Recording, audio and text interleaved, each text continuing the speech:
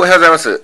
5月13日の朝5時27分の相場解説になります。まずはね、デイリーを見ていくんですけども、昨日のことですけども、これもう陽線が確定しましたね。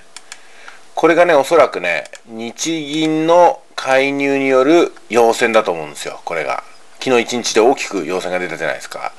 で、えー、こういうふうなね、えー、材料があっても結局はトレンドの方向に向かっていくんですよね。やっぱ大きな流れには逆らえないってことなんですけどもトレンドの方向っていうのは私が見るところ下目線なんですよね。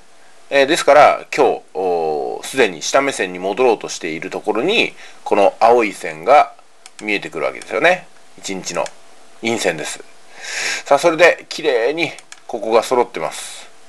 ということで、ここはですね、包み足になるんではなかろうかというふうに、ちょっと軽く考えておきます。包み足になる可能性が高いってわけじゃないですよ。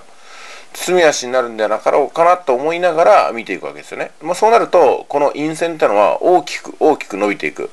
少なくとも1本、もしくは2本、3本っていうのを重ねて、えー、106円、105円の方向に向かっていくというふうに、えー、考えてますね。次の4時間足を見てみます。えー、トレンドの方向に進むが出てます、ここに。ね、トレンドの方向に進んでますね。で、日銀がドーンといったところがここですね。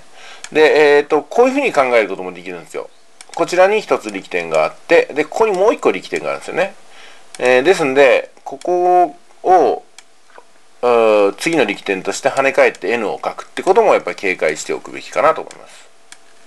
ね、さっきと矛盾するようですけども、こういうふうに数パターンのシナリオをね、第1仮説、第2仮説、まあ、よく考えて第3仮説まで用意しておくってことです。今だから第2仮説まで用意しました。えー、先ほどね、デイリーの方でトレンドの方向に向かう。だから、陰線がものすごく大きく出るんだよと。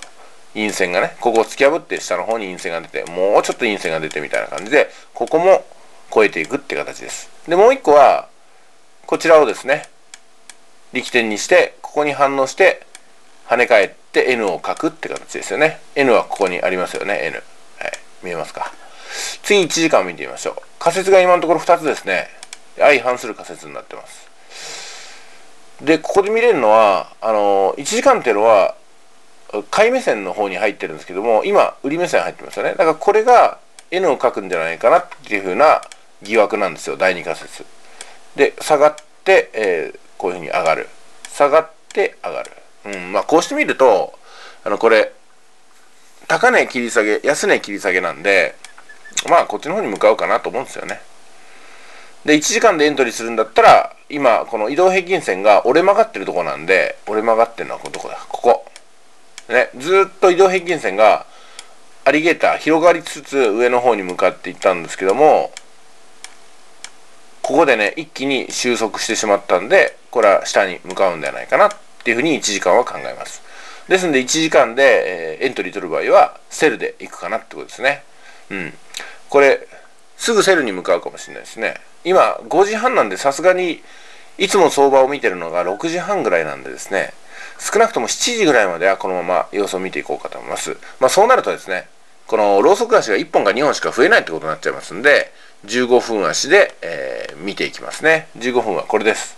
うん、やっぱりね、これ、売りの方にどんどん進むような気がしますね。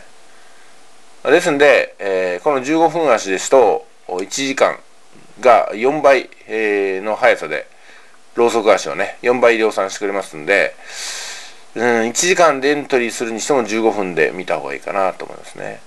まあ、106円終わったら売りで入るかなっていうところです。うん、まあ、本日は以上ですかね。うん、他に特に大きな特徴は出てないかな。うん13日水曜日、うん、今日はエントリーしていきましょうかね。それでは本日は以上です。以上です。